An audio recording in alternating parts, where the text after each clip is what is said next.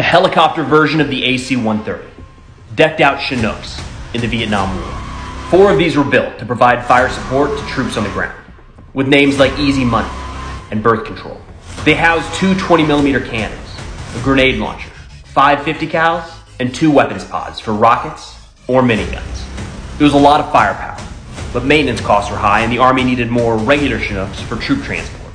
So after just a couple years and only four made, the program was scrapped.